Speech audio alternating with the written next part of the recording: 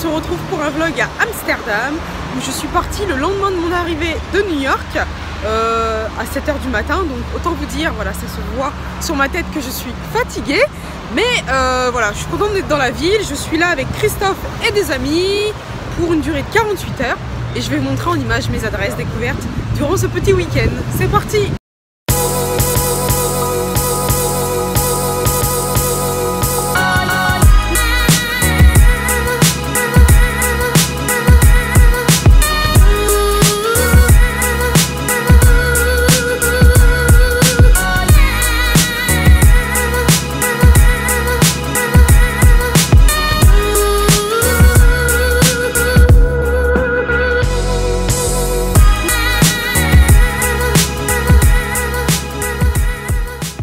Le midi, nous avons mangé chez Broochberg, un tout petit restaurant renommé pour ses salades et ses sandwichs bien assaisonnés. Alors moi j'ai pris un cheese, euh, cheese egg, un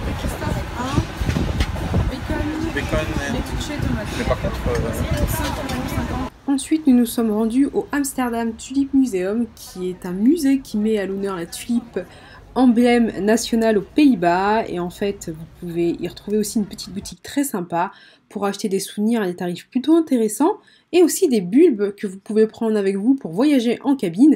Il suffit de demander en fait aux vendeuses les bulbes qui sont autorisés ou pas à revenir avec vous en France. Je vous invite à y aller.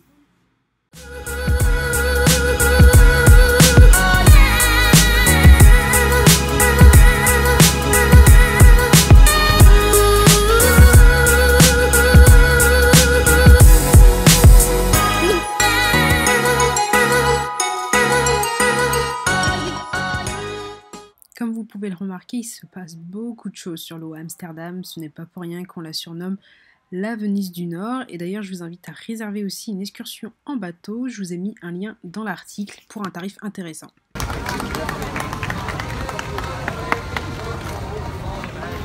Donc Amsterdam est indéniablement la ville des vélos et on s'est amusé à se poser la question combien y a-t-il de vélos à Amsterdam selon il y a 600 000 vélos, un seul maire, 173 nationalités, Ah ouais quand même, 1 million, 4, 1 million 500 000 habitants si on compte la périphérie. D'accord. Mais dans Amsterdam, il y en a environ 800 000, un peu plus. Euh, il y a 600 000 fleurs à bulbes dans les parcs et jardins. Donc ça montre qu'ils sont, ils aiment ça. 232 tramways, 30 dans mon sac. 232 tramways. 9 ferries, 21 marchés, un marché aux fleurs, un seul, donc il faut qu'on fasse le Et on va. 24 fabricants de diamants, 165 canaux, comme on a derrière nous, 1281 ponts, 8 ponts-levis, euh, 110 péniches de tourisme, 6 moulins, 51 musées, et ça paraît pas trop mal, et 5 campings et 36 discothèques. Amsterdam, c'est aussi la ville par excellence des concept stores comme celui-là, le Amsterdam Duck Store. Et oui, c'est bien un magasin dédié aux petits canards, ceux que l'on voyait à la fête foraine et que l'on voit toujours d'ailleurs. Et si vous le cherchez bien, il y en a même un pour la statue de la liberté. Voilà, il faut compter environ 8,95€ pour le petit canard. Alors là, je suis maintenant dans un concept store qui s'appelle Wilderness Amsterdam ouvert aussi le dimanche et du coup voilà on y trouve plein plein de plantes euh, vraiment c'est le bonheur c'est le paradis pour ça et malheureusement je n'ai pas pu en ramener avec moi en France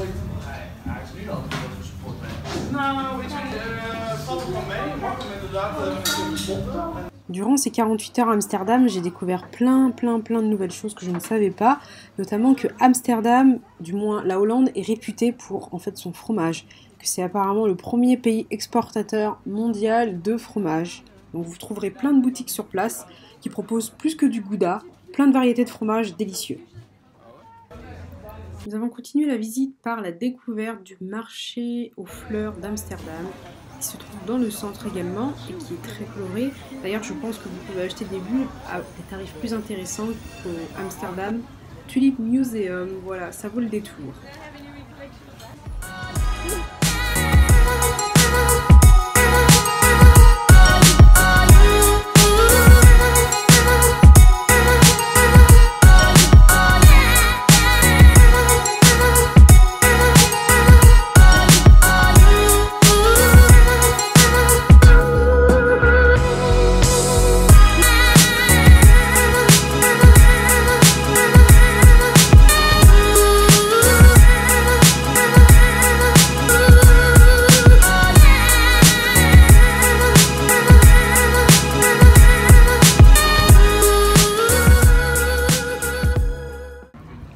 La maison d'Anne Frank est l'une des visites qui m'a le plus marqué. Je vous conseille fortement de réserver votre billet électronique sur le site officiel euh, du musée. À savoir que euh, les réservations sont ouvertes deux mois à l'avance, sinon vous risquez d'attendre très longtemps comme nous, environ deux heures avant d'accéder au musée. Et voilà, c'est la fin de la vidéo à Cannibal Royal, un restaurant réputé pour sa viande, que je vous recommande aussi fortement. Et je vous dis à bientôt, toutes les adresses se trouvent sous la vidéo, dans l'article du blog. A très vite, bye bye